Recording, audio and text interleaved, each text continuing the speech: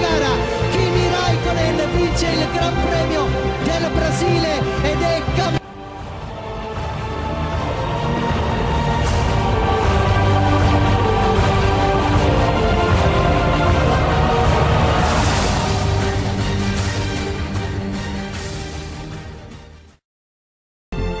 Buongiorno a tutti.